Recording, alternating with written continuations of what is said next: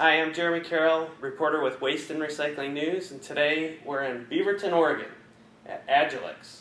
Um, they're a startup company that uh, is turning waste plastic into crude oil.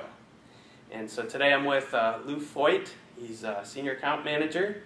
And so tell us, Lou, a little bit about the technology and, uh, and what you guys are doing here. Great. Jeremy, we uh, go after difficult to recycle waste plastic.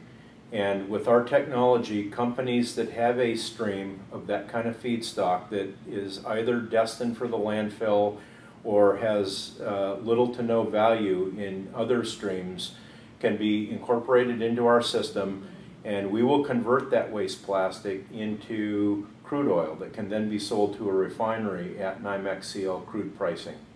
And so how much, how much of the waste plastic does it take to make a gallon of oil, crude oil? Our starting system is a 20 ton per day system.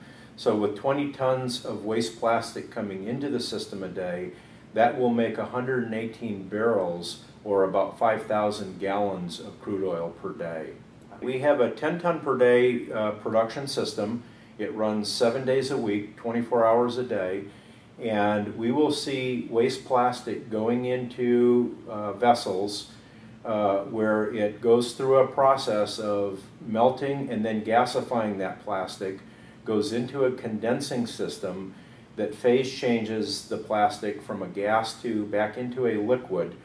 And the liquid and the condensing fluid are then separated, and the oil goes into a storage tank. Uh, the char is left at the end of the vessel, and a small amount of non condensable gas is thermally destructed at the end of the process, uh, resulting in a very low emissions profile for the entire technology. Great. Well, I appreciate the time. Thank you. Thank you, Jeremy.